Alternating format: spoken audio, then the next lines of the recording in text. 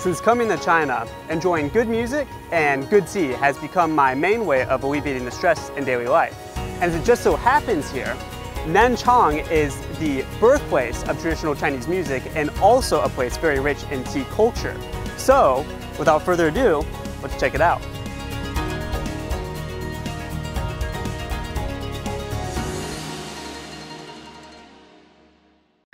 Today, I'm in Wanli district of Nanchang City. The dense forests here make Wanli what they call a natural oxygen bar. And legend says that 4,000 years ago, the Chinese official of music, Linglun, traveled to these forests to find the perfect bamboo for crafting instruments. So here I'm taking the path that Linglun is said to have taken long ago and in search for the right bamboo.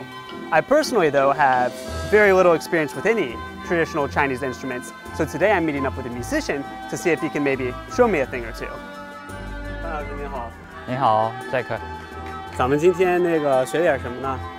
今天我们学这一个，这个是这是我们中国的乐器啊，叫竖笛。竖笛。哎，This is a extremely simple instrument. If you look, it's literally just a piece of bamboo with holes carved into it. 那这个乐器这么简单，它真的能吹出音乐来吗？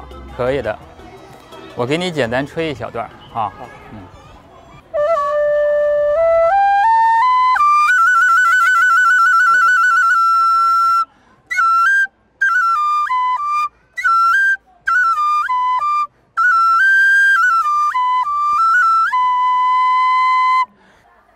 哟，这还挺厉害的呢。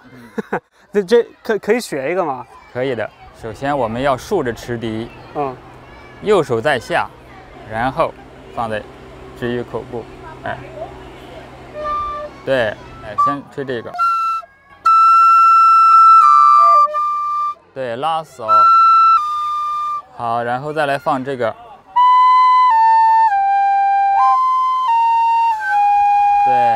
然后再把这两个呢，不是放下来再拿开，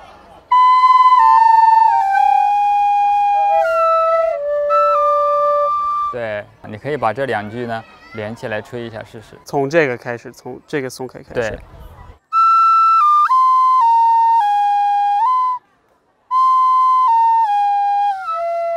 对，对对对，很好。这个，吹完这首乐曲，你有没有发现中国的这首音乐跟西方的音乐有什么不一样吗？除了乐器，其他的没注意到。拉嗦咪瑞哆，五声嗡商觉知语，五个音，哎，这然五个音，后西方是七个是哆来咪发嗦拉西。对。 Traditional Chinese instruments are typically played on the five note scale. Some say that these five notes can actually have a therapeutic effect on the body, so I'm going to a small demonstration to find out more.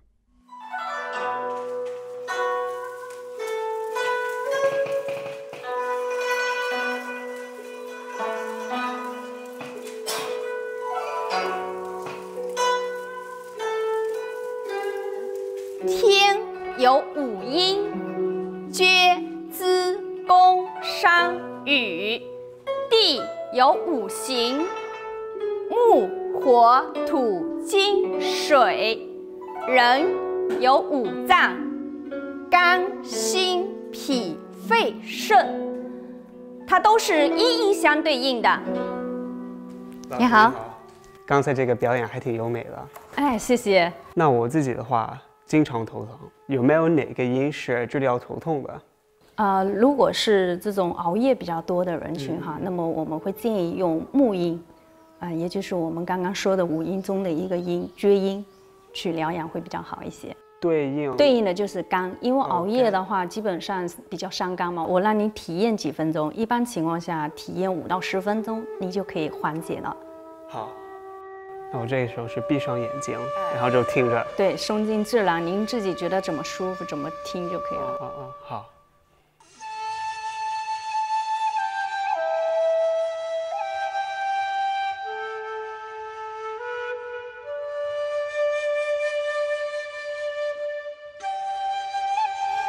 好，那我们慢慢睁开眼睛，感受一下，感觉怎么样？我觉得确实缓解了不少，就是头还是有一点点紧的感觉，但是头痛基本上是不痛了。但我想知道的是，它会不会只是一种心理作用？那么音乐它是一种波，那么跟我们的身体它是有一种这种产生共鸣，它会带动我们的身体，因为我们的身体它也是一种频率。嗯哎，打比方像我们的大脑就八到十三赫兹，哎，所以说音乐声波一过来的话。嗯，因为厥音嘛，它直接就比较精准性的对应的就是我们的肝脏的这个波。那肝是一个频率，哎，对，肝是一个频率。对对对对对对对，是的。所以这个音乐一过来，那么它就可以对上你的身体的这个频率去调养你。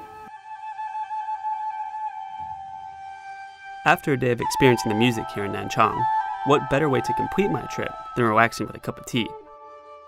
来，我以这个茶表示我对你到。我们江西南昌梅林来表示欢迎。好，谢谢，谢谢老师。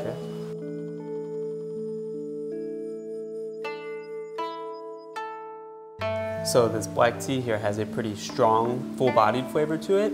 And when you drink it, you don't want to swallow it right away. You want to kind of keep it in the mouth and get the full flavor, the full taste of it. 那咱们这个南昌的茶，它跟其他地方的茶有没有什么不同的地方？ 作为我们这个国家来说呢，它是个产茶大国，它全省全国三十一个省市呢，它这个茶各有特色。那到我们这个南昌湾里来呢，那我们主要是高山云雾茶。那为什么叫高山云雾茶呢？因为我们这边是整个南昌市海拔最高的山峰，整个海拔有八百四十二米，昼夜温差特别大，所以它的茶呢口感特别的香，然后色泽特别的亮。那咱们这个高海拔的这个茶，它对身体有没有什么好处或者特别的影响？呃，一般来说，像我们这边的高山上的这个早春的茶呀，它的营养物质特别的丰富，因为茶叶里面呢，它平它本身也富含这个氨基酸的这个成分，它其实是一个这个强抗氧化的一个功能。那抗氧化的话，其实它它对我们的身体这个免疫力。增强免疫力是有促进作用的。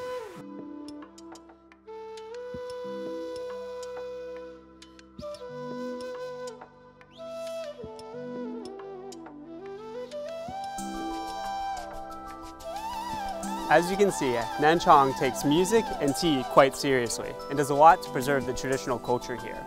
Being out in this environment also gives one a very peaceful and calm feeling, and it's a great way to put yourself in a more natural setting. I'm Anan Chong. Stay tuned for China Matters.